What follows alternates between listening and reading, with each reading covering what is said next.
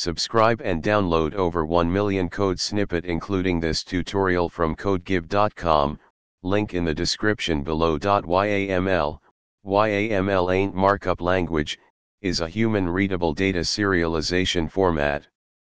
It's often used for configuration files and data exchange between languages with different data structures. In this tutorial, we will explore how to read YAML files into Python dictionaries using the PyYAML library. Make sure you have the PyYAML library installed. If not, you can install it using the following command.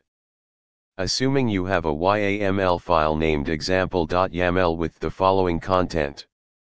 Use the following code to read the YAML file into a Python dictionary. This code opens the YAML file in read mode and uses yaml.safe underscore load, to load its content into a Python dictionary.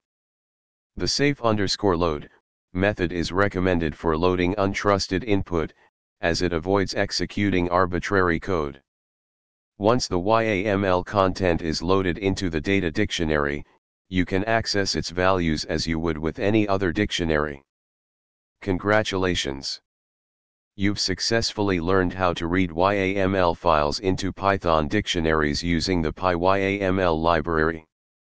This process is crucial when dealing with configuration files or exchanging data between different systems that use YAML as a common format.